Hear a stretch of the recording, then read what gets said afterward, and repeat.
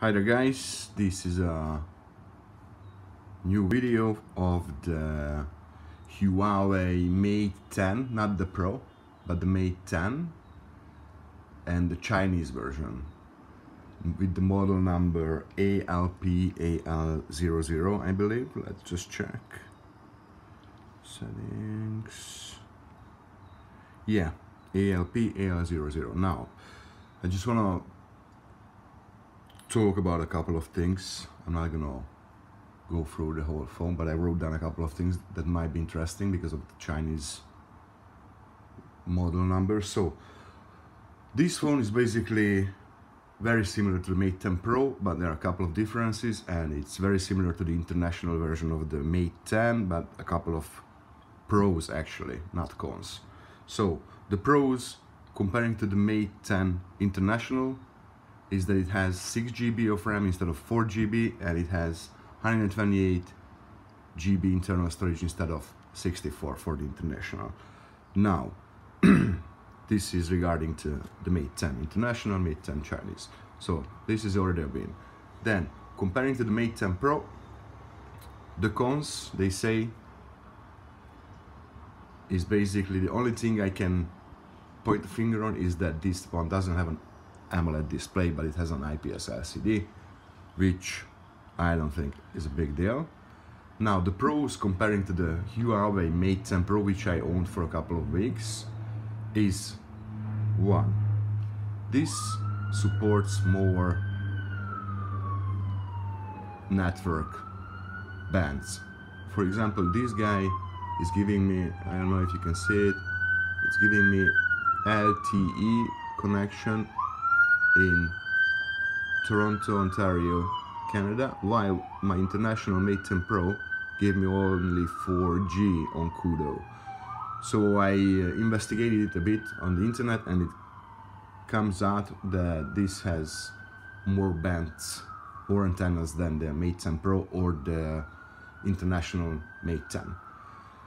The other Pro is a larger display uh, and it's because of the aspect ratio because it's a, a 16 by 9 instead of a 19 by 9 18 by 9 so 2, 2 to 1 this is the old school and I like that more. The phone is a bit larger and the actual aspect ratio even even though it says that that's uh, I think the Mate 10 Pro is like a 6 inch this is 5.9 something but because of the older aspect ratio this is actually more real estate. The other pro in my opinion is the front mounted fingerprint scanner, the expandable storage, which the Mate 10 Pro doesn't have. So this guy has 128 gig, just like the Mate 10 Pro, but you can insert micro SD card as well, up to, I don't know how much, but for sure 256 at least, if not more. Then the other one, the aspect ratio, oh, this one has an i has an i uh, uh, headphone jack why the Mate 10 Pro doesn't. IR Blaster both, I, I love it. I'm controlling my TVs and stuff with it, which many of the phones doesn't have these days. Then, oh, surprisingly, even though it's an IPS display, this has a higher resolution than the Mate 10 Pro. The Mate 10 Pro, I think it's only Full HD, and this guy is Ultra HD. However, I use it in HD mode because you you can obviously change it to HD, Full HD and UHD. I use it in HD because either I'm too old to see the difference but honestly I don't see any difference on the screen and it saves you a lot of battery. Now, in general as a Huawei phones the big pros here are the battery life, it's unbeatable, 6 to 7 hours on screen time. the IR blaster, the camera the camera is fantastic. It's a dual camera setup monochrome 20 megapixel and I think it's a 30 megapixel RGB and uh, it's just amazing. It's just amazing. I'm gonna show you a picture. Where is it? If it's on here so basically with this uh, or oh it has an IA so no AI so it recognizes the scenes you shoot right? But the biggest pro on this the manual mode that you can what I play with most that you can basically toggle all your settings in the camera. And what I like to do I, I, I don't find it on my phone now but what I like to do I put it on like a 30 second exposure in the middle of the night. I put it down somewhere or put it on a tripod. And you can take amazing pictures of the skyline of the city of a lake or the stars. You can actually see more stars that you can actually see with the naked eye. So it's amazing. It's a lot of fun. Then it has this uh, bokeh effect for portrait mode that works really well but that's more like gimmicky I, I don't know. I, I'm not I'm not enjoying that that much but the night when you can play with the shutter speed it's amazing. I love that a lot. Now this is again, this, the model is ALP AL00 and I read on the internet before I bought this uh, bad boy that it's uh, concerns regarding the software, the Chinese bloatware and so on and so on. So I'm going to tell you quickly my experience and this video is going to end there. So basically when you take this phone out of the box, you go through your initial setup and it gives you straight away English as a language choice.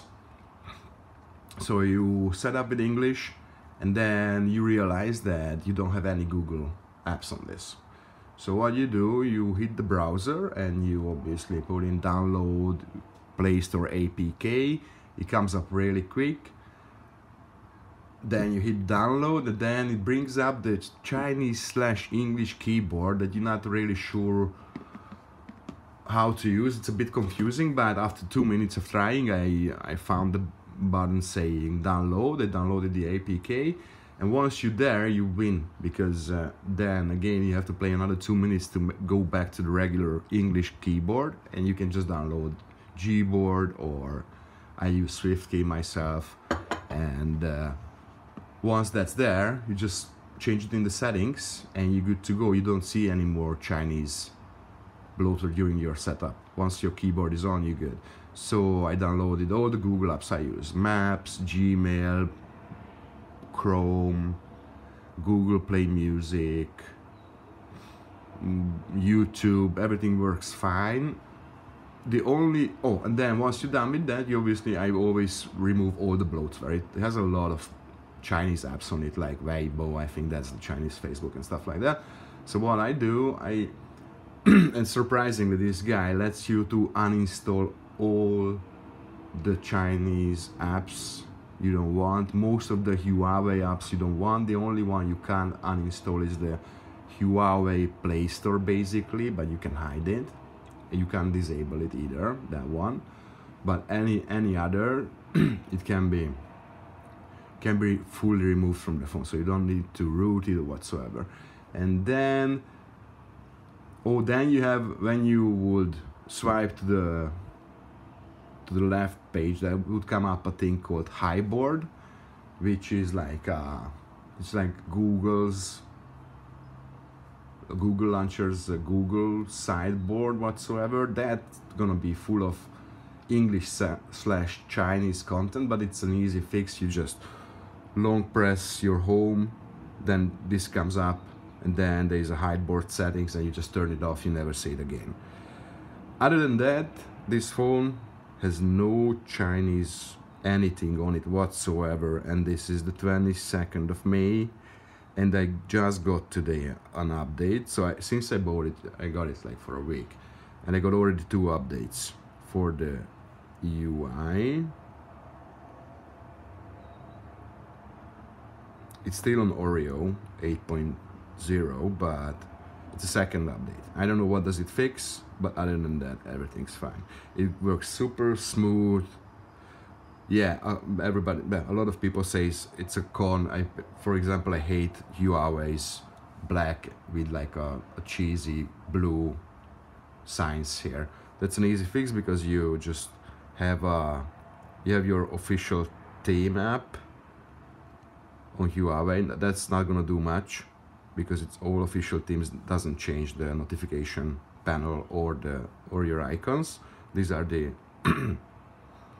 Huawei official ones but then you can download an app this one here Where is it? Mm -hmm. Here. Huawei Teams from uh, the Play Store and all of these guys any of this like hundreds. They change your notification panel and your icons as well. And as you see this looks like pretty close to stock Android now. I love this one. And then when your notifications comes up they look the same style. So that's cool. And it changes your home buttons as well. Oh by the way you can get rid of these. You can either go with gestures or your touch screen. So long press back home. Actually yeah. Long press back home short short tap just the back one and then if you slide it brings up the app history or you can have like a floating dot that does the same. Now oh and not to mention another pro that because it's Chinese version and people doesn't know what Chinese version is it's slightly cheaper so I paid 700 for this. Amazing build quality. The battery is stunning stunning. And the camera I'm a amateur not a good one but an amateur photographer as well and I love the camera it's amazing and then I leave home usually at 10:30 a.m. and I come home around 10 11 p.m. and I'm still like on 40% and I'm streaming radio all day I'm listening to ebooks I'm using the navigation all day sometimes I'm downloading stuff, streaming YouTube, and it's just, you can't kill this bad boy. Thanks for watching, guys. Have a wonderful day, and hope I'm gonna have something interesting soon and post another video. Bye bye.